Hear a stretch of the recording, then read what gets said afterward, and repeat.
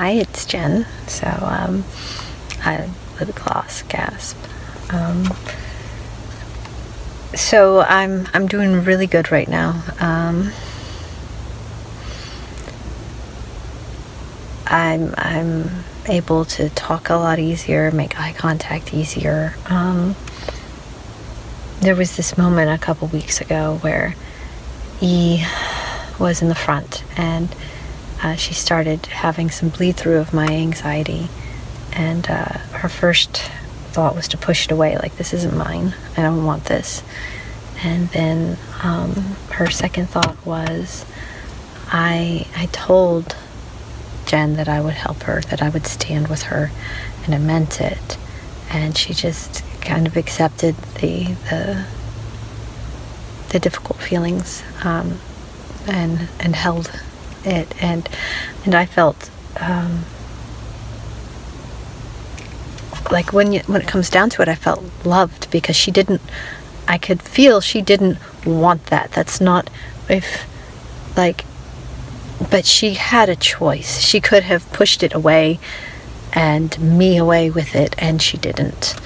Um, she em- embraced us both in that and um, since then, I've, I've just, from everyone, I've felt a lot of love and support. Um, Jenna was, um, I don't know what I was dealing with, but it was uh, a difficult emotion. And uh, Jenna was like, You're um, the bravest of all of us um, because it's so much harder for you to, um, to, to even talk and she was like, I feel it. I feel how hard it is for you, and then you do it anyway. And, um, and I think you're so brave, and I don't have to be, you know, uh, she was like, E doesn't have to be brave. She has nothing she has to be brave for. It takes her no effort to talk, and it takes you so much.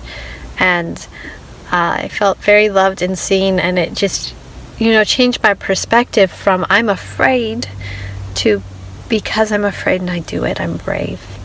Um, and I've just, it's, I've been in a really good place. I say as I'm crying, um, I've, I've laughed more. I've, I've not hated being in the front. Like, oh, I being in the front. I hate it. Like, it's okay.